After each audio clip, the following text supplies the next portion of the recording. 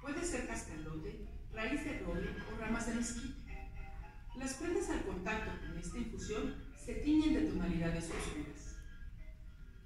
En Tenejapa, gracias al trabajo de mujeres en torno a este ajolovín, existe una gran variedad de huipiles de algodón tejidos con bandas de hilos brocados que son teñidos con gran cochinilla.